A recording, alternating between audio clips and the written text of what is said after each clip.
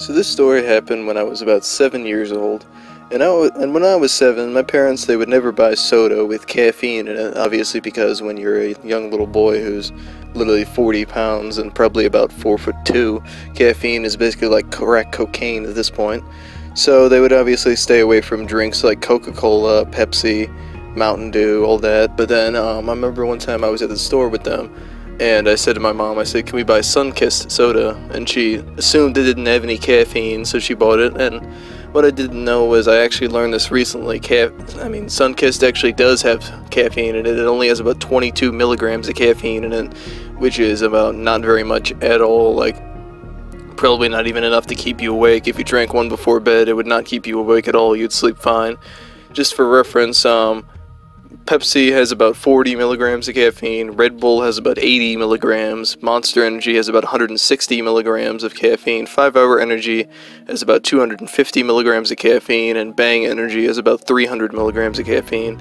Heard there is um, other sodas and energy drinks that go up further in the caffeine scale, but um, no, I've never seen those before at my stores, so I don't know anything about that. But anyway, as I was saying, they bought the Sunkist soda for me and um, I think I drank about four of them, which was about uh, yeah about 80 milligrams of caffeine in my system. And it's like I was saying, um, if you don't know ca- how caffeine works, it obviously wakes you up. It's a stimulant, nothing like crazy ones. It's nothing like Adderall or cocaine, obviously.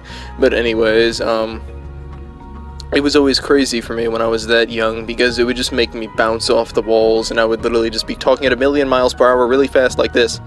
And it was always so funny because I, I remember when I, I, had to go to bed, I was literally just shaking in my seat, and I, I mean, in my bed, and I was just like, just making noises like a crazy person. And it was pretty funny, and I remember I went to my I went to my mom's bedroom and I just like banged really hard on the door and knocked on it and she was like, "What do you need?" And I was like, "I don't think I can go to sleep ever ever ever ever ever ever again. I want to say it for the rest of my life." She's like, "What did you do?" I was like, "I didn't do anything." and then she ended up looking at the the Sunkist soda. She's like, "Well, there's caffeine in there. How many did you have?" And I'm like, "I had a lot of caffeine. I had I had four four of them.